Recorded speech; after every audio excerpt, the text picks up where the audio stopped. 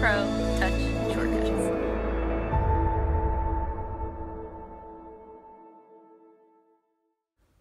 Hi, this is Justice with Tablet Pro, and I want to introduce you guys to an app called Sketchable.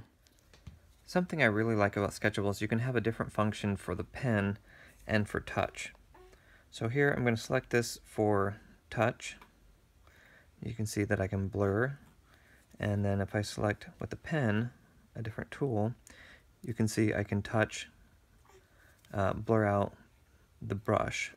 I think that's really cool. It has a, a real uh, pen and paper sketch pad feel to it that I like.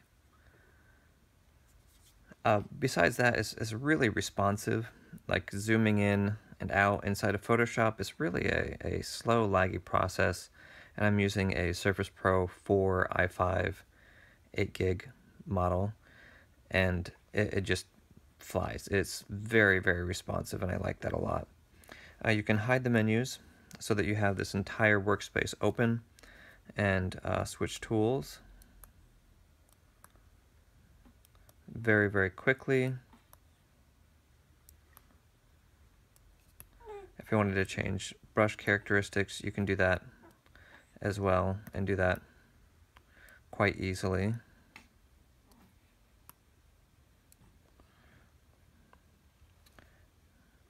The slider wheel will zoom for you if you don't want to use the pinch to zoom. To uh, select color, you can use the color selection tool.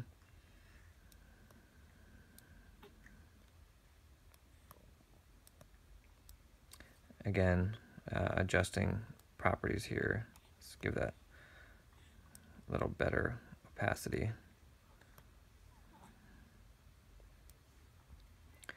We're going to open up the layers panel and we're going to add a couple layers. And you can see the different modes are available for blending. They have this color wheel which allows you to use uh, a variety of different things. I can turn off touch so that it no longer draws. And I can just use that for navigation. If I turn that on, my finger will draw, or like it did before, uh, if it's selected correctly, it will blur the screen or do whatever the touch function is.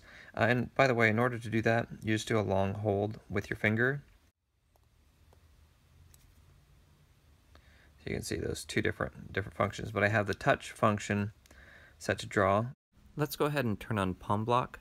Palm Block is going to turn off all touch on the screen, except for, thankfully, the Tablet Pro touchpad, or artist pad.